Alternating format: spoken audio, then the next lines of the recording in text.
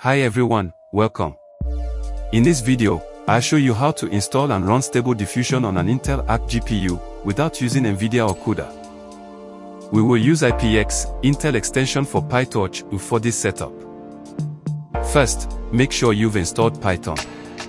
I recommend using version 3.10. You can download it from the official Python website, python.org. Next, open your terminal or command prompt.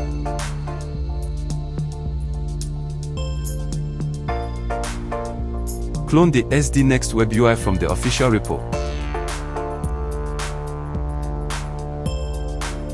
Wait SDNext installing to your PC. After cloning from the GitHub, enter the directory of the SDNext in your PC.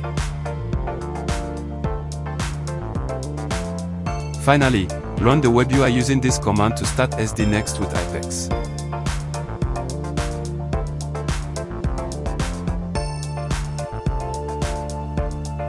This will take a few minutes depending on your PC specs and performance.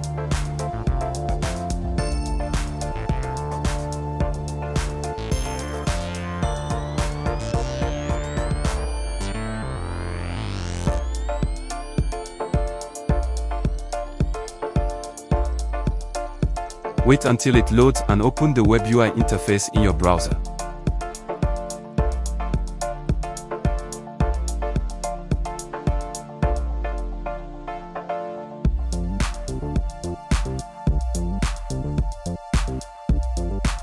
Congratulations, you're now running Stable Diffusion on your Intel Arc GPU.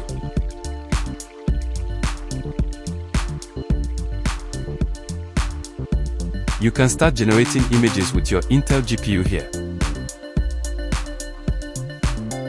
Here I try to make a picture of a woman in anime style.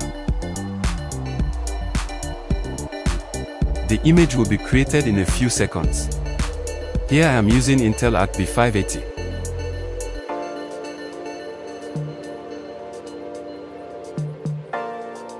And this is the result guys.